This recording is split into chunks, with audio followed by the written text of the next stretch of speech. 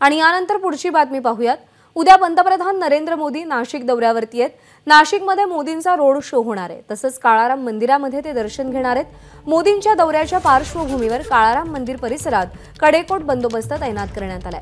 दरम्यान मोदींच्या नाशिक दौऱ्याच्या पार्श्वभूमीवर अनेक गोष्टी सध्या नव्यानं घडत आहेत त्याचा आढावा घेत महंत सुधीर दास यांच्याशी बातचीत केली आहे प्रांजल कुलकर्णी यांनी.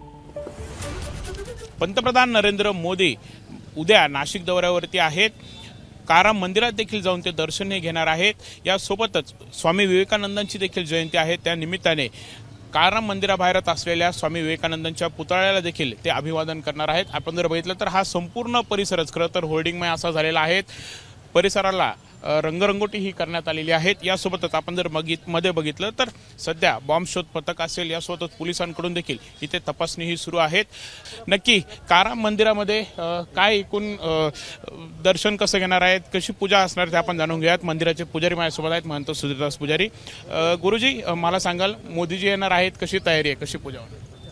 आदरणीय मोदीजी या ठिकाणी सर्वात प्रथम येणार आहेत. त्याचप्रमाणे स्वामी विवेकानंदांची जयंती आहे आणि स्वामी विवेकानंदांना अभिवादन करून पूर्व महाद्वाराने आर- आदरणीय मोदीजी मंदिरामध्ये प्रवेश करतील. सर्वात प्रथम हनुमंतरायाचं दर्शन घेतील. त्याचप्रमाणे आतमध्ये आल्यानंतर मोदीजींना प्रधान संकल्प हा सांगितला जाईल.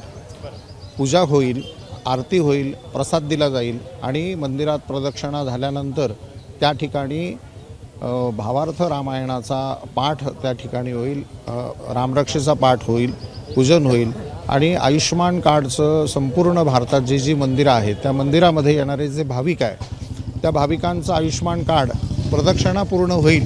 आणि त्यांच्या हातामध्ये पडेल असं आदरणीय पंतप्रधान मोदीजींच्या हस्ते उद्घाटन होणार आहे. समोर आपण बघत आहोत नाशिक पोलीस असतील यासोबतच एस पी जी जी मोदींची खास सुरक्षा व्यवस्था असते ते देखील इथे येऊन पोचलेले आहेत. या संपूर्ण परिसराचा त्यांच्याकडून थोड्याच वेळात ताबा हा घेतला जाणार आहे. सुरक्षेच्या कारणास्तव सर्व खबरदारी जी आहे ती घेतली जाते कॅमेरामन किरण कटरेसह प्रांजल कुलकर्णी एबीपी माझा नाशिक.